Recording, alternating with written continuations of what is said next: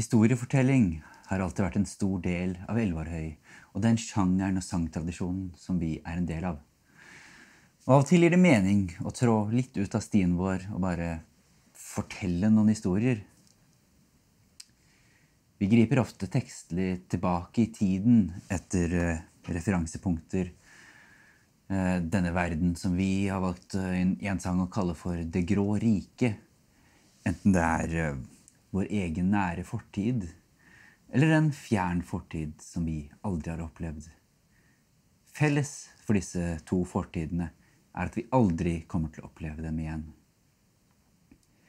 Det første eventyret jeg har tenkt til å fortelle, heter 300 år i himmelriket og er fra en tid ingen av oss har opplevd, men som gløtter litt på døra, samtidig som den viser akkurat hvor stengt denne døren er. Hvordan det er ingen vei tilbake. I haugens dyp under røttenes land. Løgn bakom seiner som ingen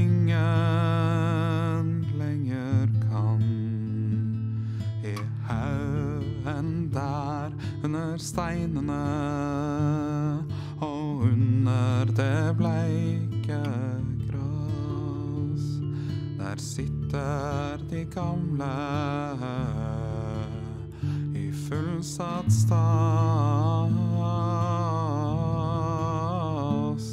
Her er alle de som døde i gammel tid.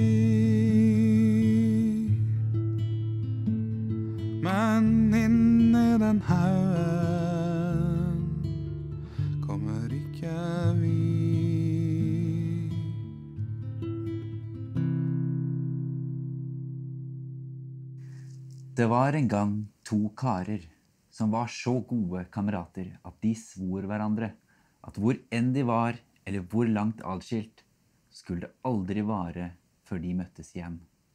Og denne eden kunne de ikke bryte uten mye sorg og elende. Dessverre så ble ikke den ene så veldig gammel før han døde, og ikke en så altfor lang stund etter fridde den andre til ei jente, fikk henne til kone og levde et langt liv med henne, med gode tider og dårlige tider. De bodde på gården Omtveit i Brunkeberg og fikk der tre vakre døtre. Det hele begynte en julaften for mange, mange år sia, da mannen skulle av sted opp i skogen etter beit til dyra til helgen.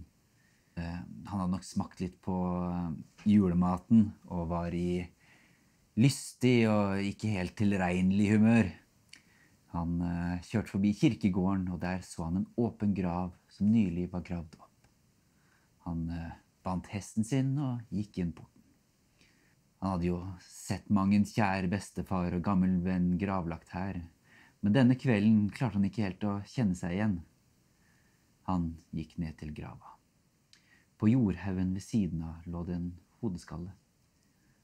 Omtveitmannen letta litt på skallen med foten, og så sa han, Hvis du var nå, som du var da du levde, så kom du med meg hjem i kveld, og så drakk du inn jula med oss.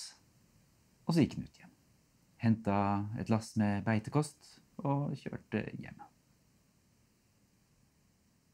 Om kvelden, da de satt rundt langbordet og åt, banka det hardt på døra. Mannen gikk ut og så da en stor og livlig kar som hilste god kveld og god jul. Omtveitmannen kjente ham igjen fra gammelt av, kameraten sin, som nå sto foran ham vel så i live som da han var i livet. Han stussa på dette og spurte hvordan dette kunne ha seg. Jo, det var meg du tala med bort på kirkegården i dag. Neimen, det var da riktig så gildt, sa Omtveitmannen. Ja, du, du får komme inn, og så tar vi oss og drikker en skål, da. Nei, nei, det kan jeg ikke, svarer den døde. Men du kan jo få bli med meg og se åssen jeg har det. Omtveitmannen han var ikke videre lysten på å forlate familien sin nå, sånn på selveste julekvelden. Men han syntes nå det skulle vært rart å se hvordan vennen hadde det der han nå var. Uansett kunne han ikke si nei. Han måtte bli med, enten han ville det eller ikke. Eh, Det var liksom noe som drev ham til det. De gikk da oppover til kirka. Det var mørkt i været og sterk snødriv. Da de kom til porten, gikk de like inn og beint fram til den åpne graven. Den døde steg ned, og omtveitmannen måtte følge opp. De for en stund ned gjennom jorda og røttenes land i stummende mørke, men etter hvert tok det til å lysne. Først som i måneskinnene, dess lenger de kom, dess lysere ble det. De var kommet til en verden som for omtveitmannen var helt ny. De gikk og gikk over noen heite svaberg og tiet hver for seg. Da de hadde gått en stund, sa omtveitmannen til følgesvennen.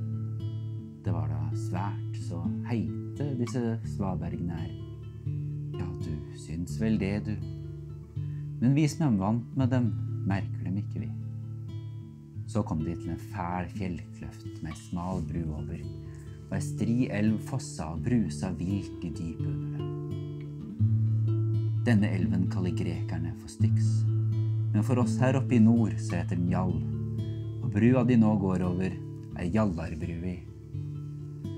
Før broa hadde de gått på en smal sti som de bare så vidt kunne skimte, men nå kom de til en stor, vid slette der det gikk en god og bred allfarvei. Her var det sommer. På begge sider av veien sto de vakreste blomster noen kan tenke seg. Langt borte så de en høy ås tilvokst med alle slags flotte løvtrær, og dit gikk veien. Da de kom dit, delte veien seg i to. En smal sti som ble helt borte noen steder, og gikk oppover åsen, og en bred, fin vei som gikk rundt. Den døde spurte amtveitmannen hvilken vei han ville at de skulle gå. Det, det er vel best vi holder oss til den flate, gode og breie. Den veien opp gjennom der, den, den ser så bratt og lei ut. Ja, det kan så være, sa den døde. Men den brede veien fører rett til Hel. Og vil du ha følge med meg, så må du gå den andre. Og så gikk de oppover den smale veien. Veien gikk oppover de bratte kleivene i sveiv og sving, og oppå var den så glatt at omtveitmannen gled mest like så fort tilbake som han kom fram. Og det var med arme nød at han holdt seg på beina. Annerledes var det for følgesvennen som gikk støtt og sikkert og hjalp kameraten i de verste. Endelig kom de opp på åsen. Da var omtveitmannen så trøtt at han lite og intet orka mer. Foran seg så de nå en stor og vakker slette, der alt sto i den fagreste blomstring, og borte på sletta lyste et hus så stort og gildt at omtveitmannen aldri hadde sett maken. Og da de kom bort til huset, sa den døde, ja, her bor jeg, og nå skal du være med meg inn og se hvordan jeg har det.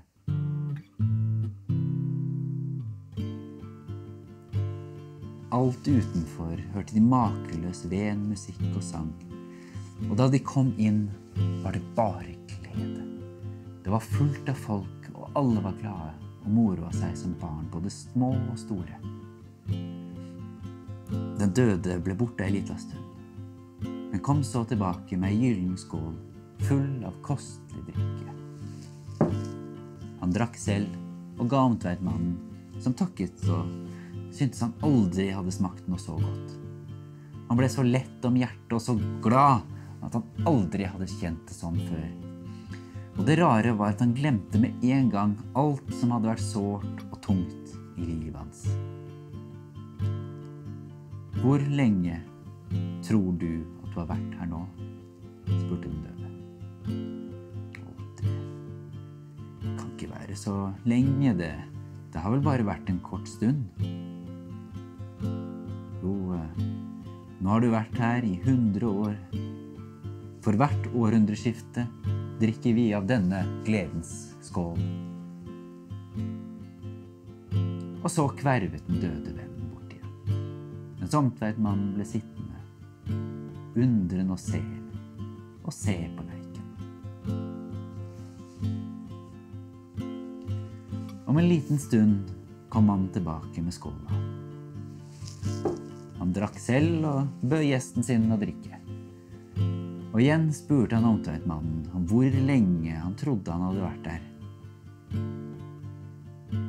Og det kan ikke ha vært så mange minuttene, tenker jeg. Du, du kom jo tilbake hit med det samme. Kan så være, sa den døde. Men nå har du vært her i hundre år til. Og så ble følgesvennen borte for ham. Og gleden vokste, og tiden gikk fortere og fortere. Om et øyeblikk kom den døde tilbake med skåla for tredje gang. Han drakk selv og bød gjesten sin om å drikke. Omtveitmannen gjorde så, og han tok noen riktig drøye drag av gledens skål.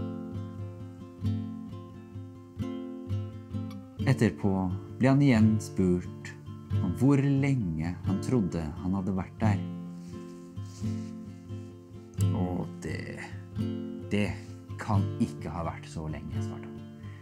Jeg syns du så vidt gikk utafor døra før du kom tilbake.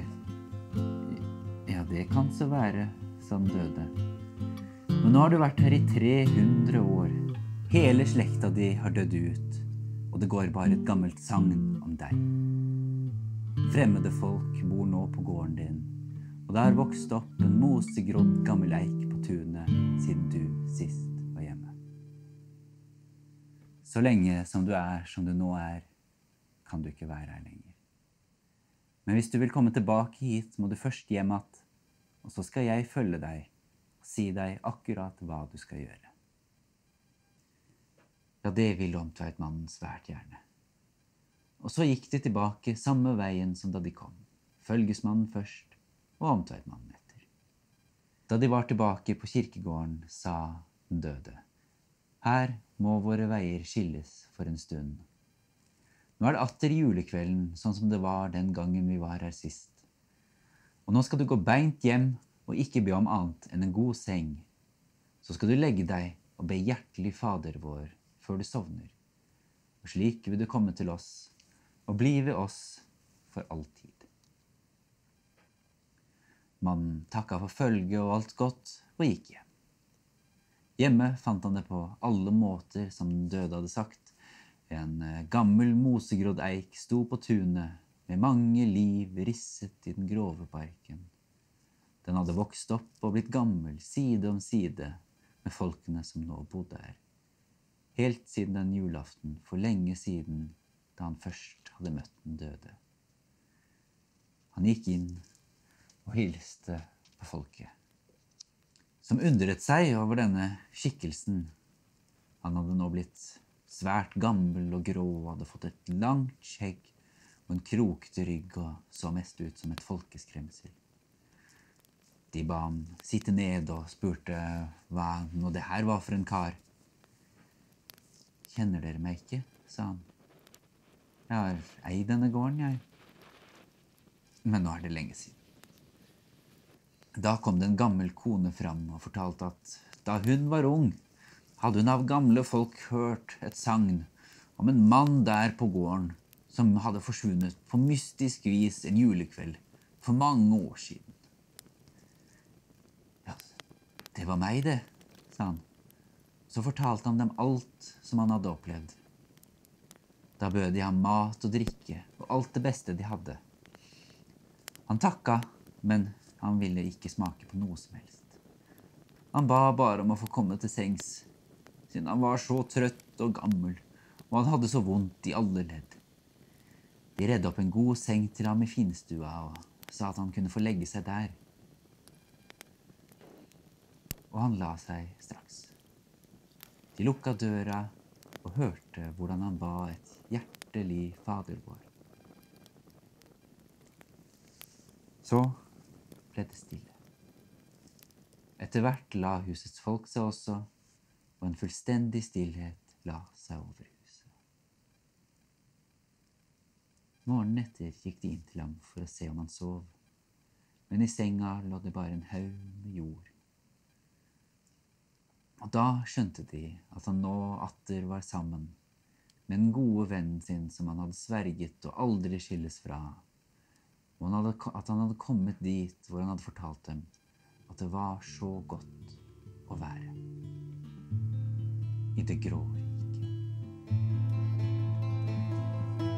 riket.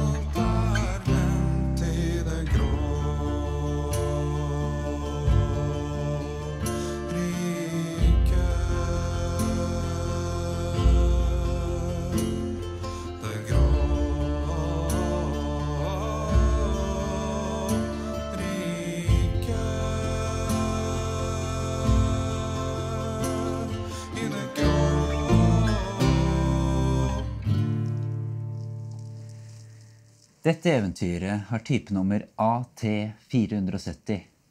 En type eventyr som kalles for Venner i liv og død. Denne versjonen jeg har fortalt, er hovedsakelig basert på Halvor Gunnleiksson Heggtveits versjon fra Brunkeberg i Telemark, gjengitt i Knut Laupedalens eventyr og segner fra Telemark. Heggtveit sin fortelling er detaljrik, og han er kilde til eller nedskriver av minst fire forskjellige varianter av dette eventyret mellom 1870 og 1923. Hovedkilden min er 1923-versjonen, men jeg har også brukt detaljer fra en langt eldre dansk versjon, som ble innsamlet senest 1855. I Hegtveits fortelling får vi en langt tydeligere beskrivelse av dødens verden enn i den eldre, med skjærsilden, Jallarbrua, Highway to Hell og himmelen gjengitt som en slags godhetens vertshus i Dovregubben. Eventyrtypens eh, titulære vennskap er eh, fraværende fra Hegtveits versjon. Eh, men, men jeg liker det, så jeg har prøvd å inkorporere det. Selv om det har gitt meg noen problemer som har vært litt vanskelig å forene. Jeg håper dette eventyret har eh, vært betagende, at det ikke har eh, stilnet tørsten, og at du, eh, du sitter igjen med flere spørsmål enn du har fått svar.